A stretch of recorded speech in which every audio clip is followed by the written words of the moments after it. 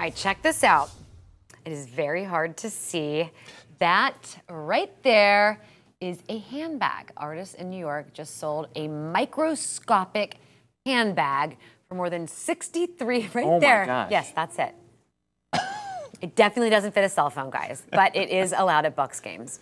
$63,000. It is smaller than a grain of salt. A more zoomed in look shows it also has the Louis Vuitton monogram on it.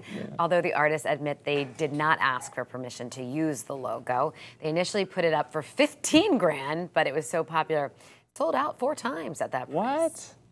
Okay. Well, you, you can't put any of your money that you're going to spend. I lost my purse. Does anyone see it? Get down on all fours looking.